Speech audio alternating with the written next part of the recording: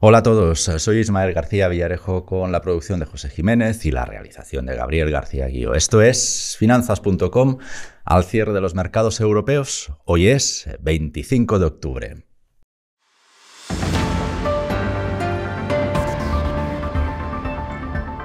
Inversores, eh, bienvenidos. Ignacio y yo os estábamos esperando. Ignacio Méndez es director de análisis de renta variable en Mirabor Research España.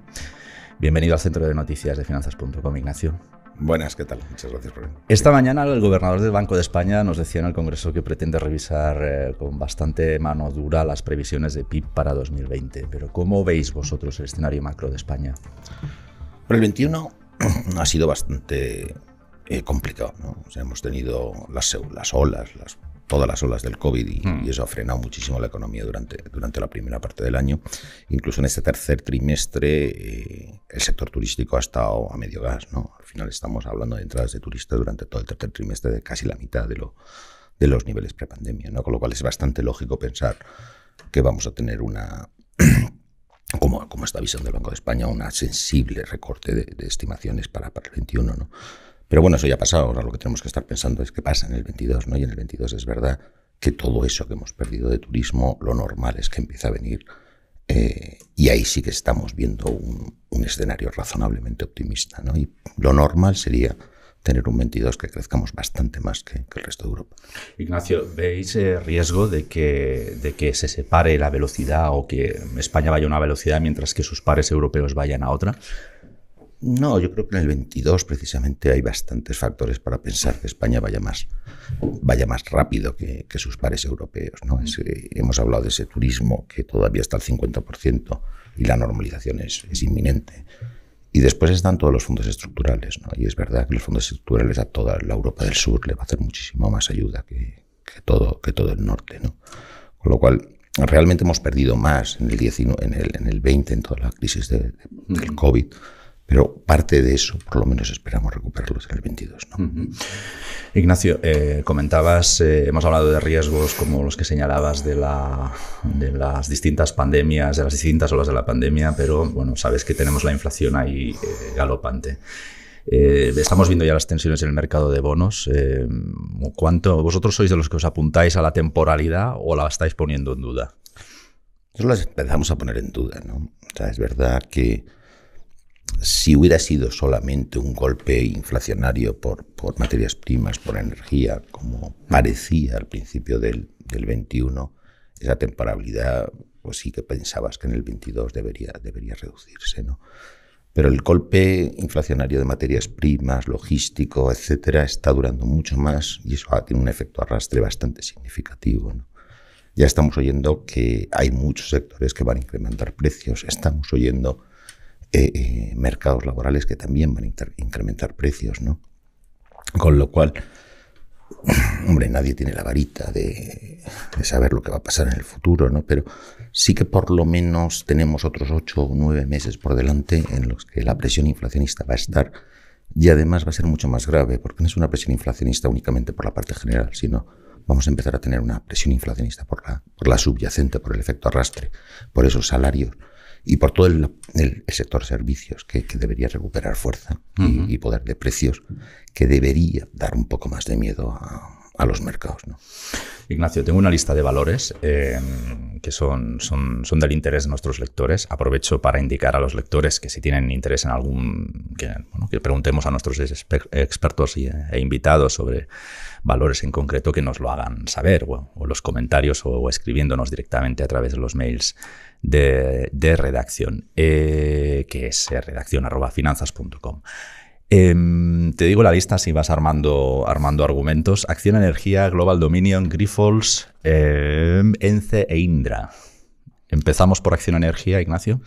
Sí, mira, Acción Energía es una de las compañías que cuando hablemos, hablamos de, de esos fondos estructurales, de, de, cuáles pueden ser los sectores que se puedan beneficiar de los fondos de recuperación que vengan de Europa, claramente el sector renovables es uno de ellos. Además, probablemente en este momento es mucho más lógico apostar por compañías grandes que por, compañías pequeñas. ¿no? O sea, muchas de las compañías pequeñas pueden tener retrasos en todos estos problemas logísticos que estamos viendo en sus planes de negocio y eso podría provocar cierta, o, ciertos miedos por parte del mercado, ¿no? Pero en las compañías grandes que tengan ya una cartera sólida, instalada, que además se pueden beneficiar de los altos precios de energía, creemos que son claros eh, caballos ganadores en este escenario. ¿no? Y por eso sí que nos gusta bastante eh, Acción Energía como una apuesta para, para, los próximos meses o próximos años. Y si te pregunto por el riesgo de las burbujas en, renovables, ¿qué me, ¿qué me contestas? O sea, yo creo que hay que diferenciar mucho entre renovables, que muchos sean proyectos, y hay, ¿verdad? que hay determinadas compañías que algunos de sus proyectos parecen más hojas de Excel que directamente eh, realidades. ¿no? Y eso es, yo creo que es la gran diferencia cuando estás hablando de una acción de energía donde tiene ya 12, 12 gigavatios instalados, eh, que, los, que ha demostrado durante 30 años su capacidad de gestión, su capacidad de instalación, su capacidad de, de, hacer frente a cualquier tipo de escenario. Eh, yo creo que ahí las valoraciones son totalmente distintas. Eh, puede haber burbuja en determinados valores pequeñitos, etcétera, sí, eh, pero no creo que las grandes.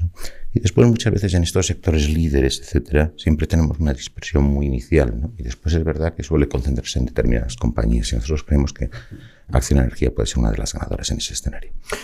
Dentro de las renovables, una de las que parece que se puede beneficiar también, también es Global Dominion. ¿Cómo estáis viendo este, este valor? O sea, Global Dominion es una de las maneras que pensamos de, intentar jugar eh, la reactivación de la actividad. O sea, si estamos pensando que la economía española va a tener una actividad por encima de, otros, de, otros, de otros países europeos y encima queremos hacerlo más en el sector servicios que en el sector industrial, creemos que, Global Dominion es una de esas compañías que lo puede hacer bien. No tiene una división de renovables que creemos que, que aportará valor y mucho valor a, a la división, a la compañía en los últimos años, pero no solo por eso, sino también porque estamos viendo una compañía que está creciendo contra niveles prepandemia al 20% este año, lo cual demuestra que el management está consiguiendo eh, apalancarse a esta recuperación cíclica que estamos viviendo en España de forma significativa.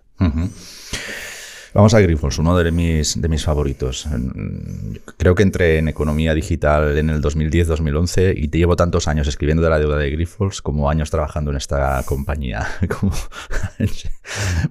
al margen de lo que opinéis del valor, eh, ¿es esta deuda ya peligrosa? ¿Está controlada? ¿En qué punto estamos con Grifols y sus, y sus distintas aventuras? Yo creo que Grifols es una de las de los equity stories más divertidos y más sólidos de la bolsa española. Y es verdad, o sea, lo piensas y dices, hombre, es un negocio oligopolístico donde tienes unas barreras de entradas masivas, donde... O sea, es una, historia muy, muy bonita.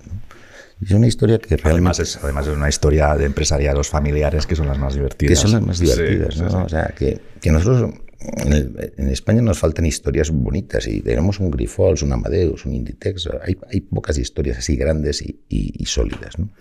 Y es cierto lo que tú dices, ¿no? Esa historia que, ha sido especial, que es especialmente bonita, se ha puesto muy en duda en los últimos años, primero por recombinantes, eh, este último año por los, los márgenes, ¿no? pero sobre todo por unos niveles de deuda muy, muy elevados. ¿no? Unos niveles de deuda que al mercado no les gusta. Y a mí tampoco, si tengo que decirte la verdad. Pero es cierto que, visto una compañía que se pudo desapalancar con Talecris de forma masiva y, muy rápido, y es un negocio donde, donde el apalancamiento operativo es especialmente importante. Si me hubieras dicho, yo prefiero que, que Biotes hubiera comprado con una impresión de capital, pues sí. ¿No se ha hecho? No. Eso me indica que la compra de Biotex no se tenía que haber realizado. Se tenía que haber realizado porque es una adquisición que puede ser transformacional en, en, Y además, eh, sobre todo en el apalancamiento operativo que le generaría por, por meter nuevas, nuevas proteínas para Grifols. Eh, y precisamente por que llevas desde el, desde el 2011 11, hablando de la deuda, eso es lo que ha hecho que las valoraciones de Grifols no estén descontando el escenario especialmente bonito del equity story, sino estén descontando un escenario muy negativo por la parte de deuda. Y eso es lo que realmente le da muchísimo potencial a la acción en el momento que el mercado se dé cuenta que puede desapalancarlo. Pero ¿cuándo dirá el mercado basta con la deuda de Grifols? Yo creo que el mercado dirá basta si las promesas de las sinergias que has dicho en, en Biotest no se cumplen. Y en parte el mercado ya ha dicho basta. solo hay que ver eh, el performance que ha tenido Grifols contra el performance de CLS en estos últimos cinco años. mientras que una ha volado, la otra no ha hecho más que caer. Eh, ese gap se ha abierto de forma que nosotros pensamos que es poco justificable. Me dices, ¿cuándo? Pues en parte la cotización refleja esos miedos. Están muy, muy reflejados en la acción. Eh, con lo cual, lo, yo creo que gran parte de esas malas noticias de deuda están ya muy reflejadas y por el contrario, una mejora de la deuda más rápido de lo esperado podría, podría ser un gran catalizador para la compañía. Perfecto. Mira, el siguiente valor que tengo aquí apuntado es ENCE. ¿Qué nos cuentas de ENCE? Probablemente es otra de las compañías que el mercado, si llevas escribiendo de ENCE, no, llevarás escribiendo mal de ENCE durante mucho tiempo. No, no es el caso. Pero es verdad que probablemente tenemos una compañía que ha estado siendo o lanzando unos mensajes especialmente optimistas al mercado, no tanto por la parte de precios de la pasta como la parte de costes. Eh, y después has tenido pues, todos los problemas de Pontevedra, que ha sido un drama. Entonces eso pues, te ha llevado a la compañía que, entre, entre la falta de, de, credibilidad de los últimos años y lo de Pontevedra, que los, que los inversores se hayan huido de ENCE, ¿no? hayan huido diciendo, uff, me voy a meter en una compañía donde voy a tener ahora unos problemas, unos litigios que pueden durar años, etc. Y la gente ha cortado por lo sano. ¿no? Y eso al cortar por lo sano es lo que ha llevado a la compañía a valoraciones que son bastante, desde nuestro punto de vista, difícilmente justificables. ¿no? Estás hablando de si le quitas la, valoración de renovables, que es un dato dado, porque al final no es una operación que se hizo a final del año pasado Estás hablando de que una compañía, Navia, y descontando también a Pontevedra Cero, por supuesto, y, los costes de desmantelamiento de Pontevedra, estás valorando a Navia en unos 450 millones de euros. ¿no?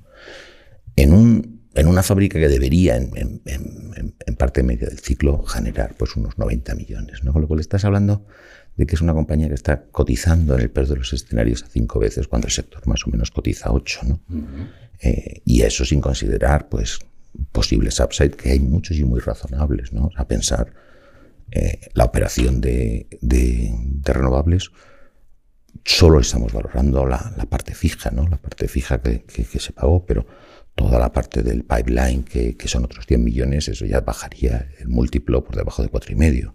Si encima pensamos en ciertas compensaciones por el cierre de, de Pontevedra, que también serían lógicas, ¿no? O sea, yo te doy una concesión yo invierto y cinco años después te digo que esa concesión no vale, hombre, pues puedo reclamarte eh, hasta cierto punto compensación por eso. ¿no? Ya te diría esa valoración es por debajo o, ratios por debajo de 2,5. ¿no? Lo cual sí que creemos que es típico valor que hay, una, hay un, foco de valoración muy significativo ahí y que está en gran parte provocado por, por los miedos y, por, un, por, un, escenario que no, no ha sido positivo en los últimos años. Vamos con Indra, Ignacio. Indra es una compañía que siempre ha tenido una parte de, defensa y todo tráfico aéreo que ha sido especialmente positiva. Y yo creo que eso nunca ha generado dudas y ahora tampoco está generando dudas. las carteras están en máximos. Eh, nosotros vemos que, que tiene que haber más inversión en defensa, después de lo que ha pasado con la era Trump, eh, con Afganistán, etcétera. Europa no se puede permitir mantenerse sin hacer nada en la parte de defensa, con lo cual la inversión tiene que estar ahí. Y probablemente no solo por una política de defensa común o una política exterior común, sino también tiene que ser por un tema tecnológico. O sea, Europa tiene un problema tecnológico que se está quedando atrás contra China, contra Estados Unidos. Y una de las formas de recuperar ese liderazgo tecnológico, sin duda, siempre ha sido la defensa, nos guste o no nos guste. Entonces, por esa parte, nosotros siempre lo hemos visto que la visibilidad es alta y bastante creíble. Pero lo hemos tenido siempre en Haití, ¿no? es la parte de TI, que siempre ha tenido unos márgenes bajos, nunca ha generado cash flow. Y es verdad que con la pandemia, el anterior management hizo una reestructuración significativa, con lo cual se ajustó mucho la base de costes. Y encima, por la parte de arriba, volvemos al tema de los fondos de recuperación. ¿no? una de las grandes de las inversiones importantes que se va a realizar en todos los fondos de recuperación va a ser toda la digitalización, eh, cambiar a, una sociedad digital, etc. Y no nos olvidemos que Indra es la, la consultora del gobierno. O sea, Eh, y eso creo que vas a tener un margen por arriba, o sea, una visibilidad por arriba, por ingresos muy importante, y aparte con unos márgenes muy importantes, eh, que han mejorado sensiblemente. Con lo cual, es una acción que la castigaron mucho con el cambio de, del management. Es lo que te iba a preguntar, que el efecto cúpula parece que ya está digerido, ¿no? Bueno, al final, eh, ser la consultora del gobierno tiene sus pros y sus contras, ¿no? O sea, te van a dar, te van a dar mucho negocio y es verdad que lo lógico es que ganes mucho negocio por esa parte, pero también es verdad que tienes unas interferencias que al mercado no le gustan ni a mí tampoco, pero es cierto que puedes estar pensando que hay, hay, hay valor y que bueno, siempre que se busque ese equilibrio parece que, que no está mal. Y lo que es verdad es que los resortes del corporate governance de Indra han funcionado hasta cierto punto. Ah, no se ha permitido un, un, nueva posición de, de el, o sea, del nuevo presidente como, como CEO, etcétera, y se ha intentado diversificar un poco la, el management entre todos, los, entre todos los sectores. Ignacio, muchísimas gracias por hacer podcasting con nosotros esta tarde. Muchísimas gracias a vosotros. Y a vosotros, amigos inversores, muchísimas gracias, eh, como siempre, por el privilegio de vuestro tiempo. Hasta la próxima.